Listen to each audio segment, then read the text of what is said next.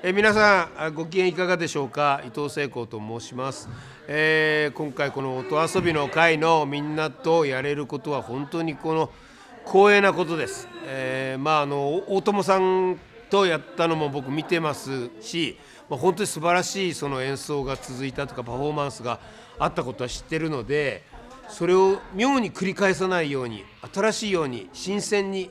やるように心がけていきたいと思います。でその場で作れる一期一会の本当に貴重な瞬間音、えー、空間、えー、そういうものをお届けしたいと思っていますのででちょっと第1回リハはしてみたんですけどもうこのまま舞台に入れるともうみんなも言っておりましたメンバーも。で僕もそう思いました。そのぐらいすごくいい、えー、音楽ができたので、早く皆さんにお届けしたいです、えー、ぜひお楽しみに。